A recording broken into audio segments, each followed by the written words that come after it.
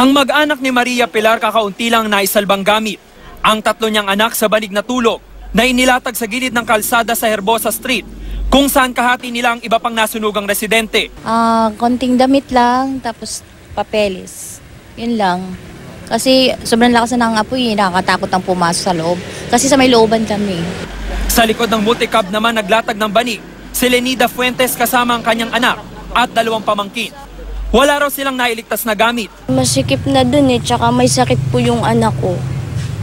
Tsaka kaka-check up lang namin kanina masikip doon eh. Kasi dito na lang kami po nang nagtutulog. Sa Choco Street may mga biktimang sa tapat ng kanilang nasunog na bahay na tulog para magbantay. Ang ilan pinagkasya ang hapong katawan sa loob ng tricycle. Pinabantay namin to baka kasi kahit kalakal lang makakuha namin pandagdag din pantayo ng ano, bahay. May mga residenteng sa covered court ng Barangay Lumikas.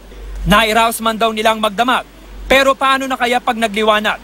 Sana po papaayos nila yung bahay namin para may matulugan po kami.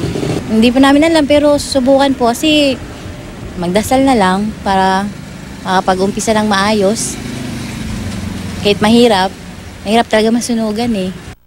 James Agustin, GMA News.